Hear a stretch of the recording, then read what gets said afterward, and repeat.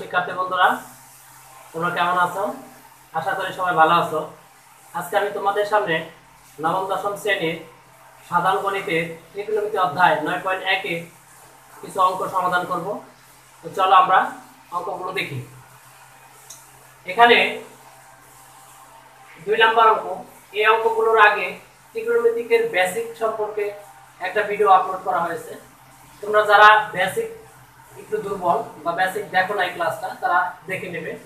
এরপর পর্যায়ে দুই নম্বর অঙ্কটা হলো সাইনে সমান থ্রি বাই ফোর হলে এ কোণের অন্য অন্য ত্রিকোণমিতিক অনুপাত সমূহ নির্ণয় করো। এখানে ত্রিকোণমিতিক অনুপাত আমরা জানি মোট ছয়টি।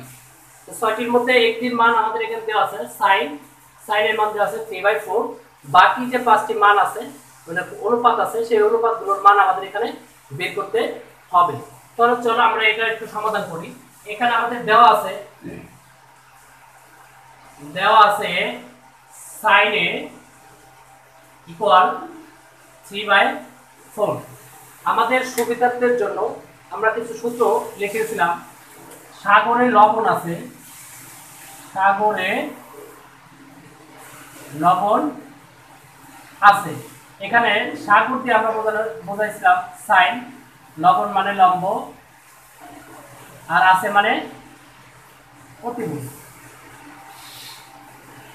এটা হলো আমাদের, যেহেতু এখানে আমরা অন্যান্য ত্রিকোণিক অনুপাত নির্ণয় করতে বলছে, আমরা এই কোণটার সাহায্যে, এখানে যে কোণটা আছে, এই কোণ, এখানে সমকোণী ত্রিভুজ চিত্র অঙ্কন করে আমরা বাকিগুলোর মান বের করতে পারব। আমরা যদি একটা সমকোণী ত্রিভুজ এখানে অঙ্কন করি,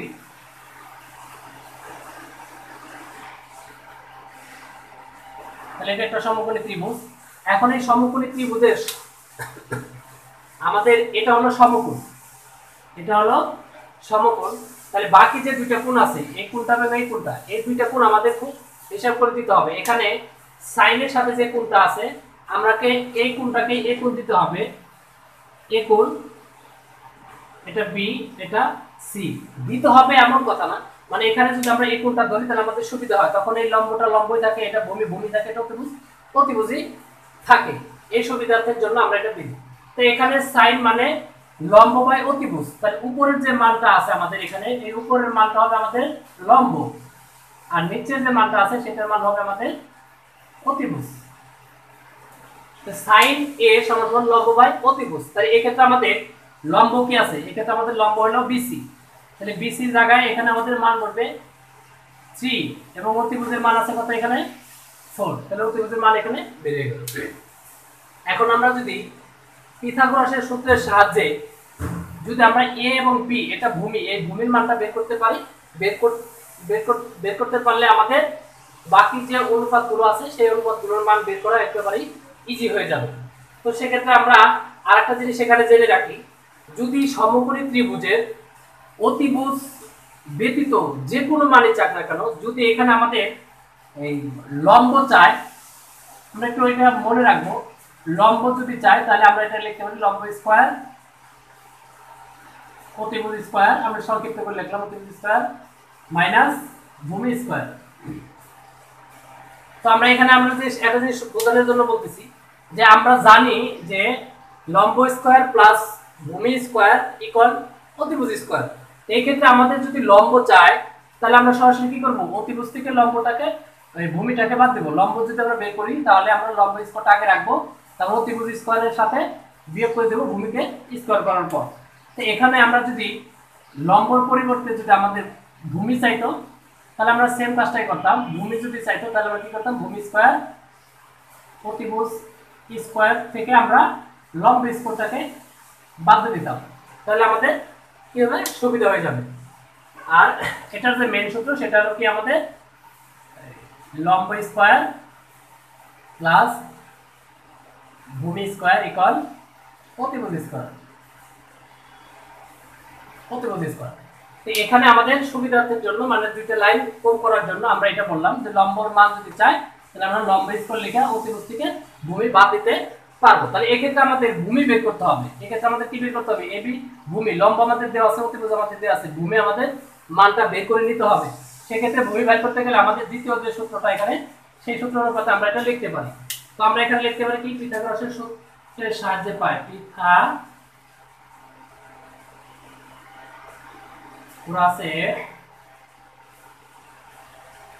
সূত্র হতে পাই আমরা কি লিখতে পারি?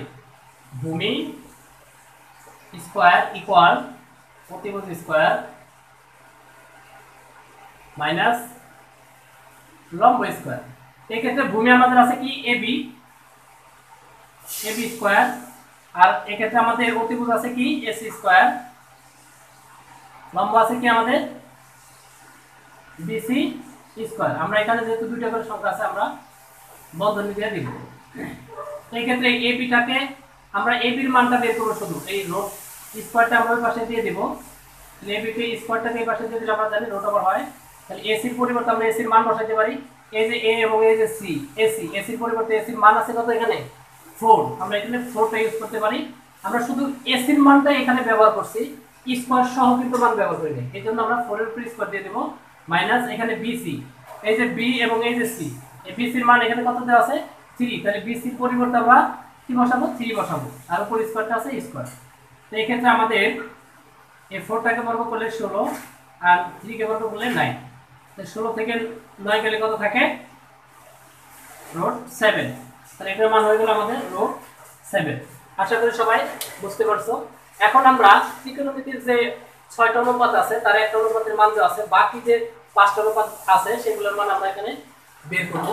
তো এটা আমি একটু মুছে দেই। এক্ষেত্রে আমাদের সাইনের মান দেওয়া আছে থ্রি বাই ফোর আমরা জানি সাইনের বিপরীত কসেক সাইনের বিপরীত কসেক কসেকে তাহলে কসেক কি? সাইন যে মানটা থাকবে কসেকও তার বিপরীত হবে। তার মানে ভূমি যেটা থাকবে, যেটা সরি মানে যেটা হর থাকবে, সেটা লব হবে, যেটা লব থাকবে, সেটা হর হবে। এক্ষেত্রে আমাদের কি হবে?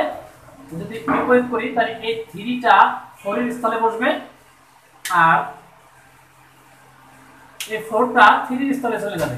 এই ফোরটা থ্রির স্থলে চলে যাবে।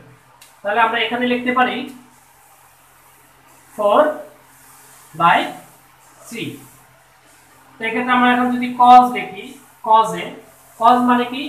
কজের একটা সূত্র আমাদের আছে এখানে, কবরে ভূত আছে। কব কবরে ভূত আছে। এখানে কবর বলতে কজ আর ভূত মানে ভূমি আর আছে মানে অতিভূত তাহলে এক্ষেত্রে আমাদের ভূমি কি আছে? ভূমি আছে আমাদের রোড সেভেন আমরা রোড সেভেনটা আগে দিয়ে দেবো, রোড সেভেন তারপর অতিভুজ অতিভুজ আছে কি? ফোর এই কজের বিপরীতটা কি আছে আমাদের? সেকেন্ড সেক তাহলে কি হবে? এই আগেটার মতোই পুরো উঠে যাবে। ফোরটা নিচে আছে ফোরটা তো উঠে যাবে। ফোর হবে উপরে, আর রোড সেভেনটা আছে উপরে রোড সেভেন হয়ে যাবে নিচে। এক্ষেত্রে আমরা পরেরটা টেনে টেনের সূত্রটা সবার মুখস্থ। টেরা টেরা লম্বা।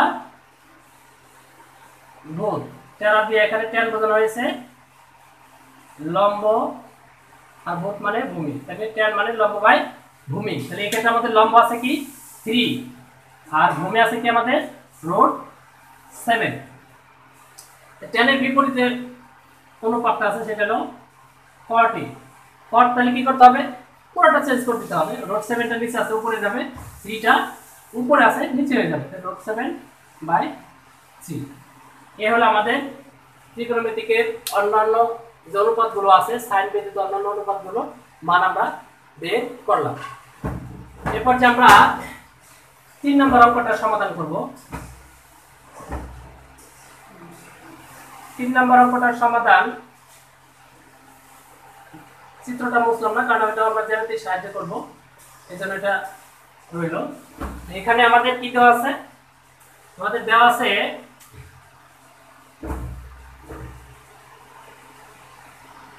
দেওয়া আছে fifteen cot A equal eight তো আমরা শুধুমাত্র কট এটা রাখব, বা cot A equal eight by fifteen তো এখন এ কোনটা আমরা এ ধরবো, এই জায়গায় ধরবো, এই জায়গায় ধরলে আমাদের সুবিধা হবে, এটা লম্ব থাকবে, এটা ভূমি থাকবে এটা থাকবে। তো কটের যে সূত্রটা আছে, আমরা জানি টেনের বিপরীত হলো কট তাহলে টেনের সূত্রটা কি আছে? টেরা লম্বা টেন লম্ব বাই ভূমি যেটা আগে আছে সেটা উপরে আর যেটা পরে আছে সেটা নিচে হবে, তাহলে লম্ব বাই ভূমি। তাহলে উপরে এখানে যে মানটা আছে, এটা আমাদের লম্ব আর নিচে যেটা আছে সেটা আমাদের ভূমি। তো এই মানটা আমাদের লম্বের জায়গায় বসবে তাহলে এই ক্ষেত্রে আমাদের লম্ব আছে কি? বিসি তাহলে বিসি এখানে মান কত আছে? এইট আর ভূমি এখানে এবি এবির মান আছে কত? ফিফটি তো এই ক্ষেত্রে আমাদের এখন অতিভুজের মানটা বের করতে হবে। তো অতিভুজের মান বের করার জন্য আমাদের কি করতে হবে? পিথাগোরাসের সূত্রের সাহায্যে অতিভুজের মানটা বের করতে হবে। তাহলে এখানে আমরা লিখি পিথাগোরাসের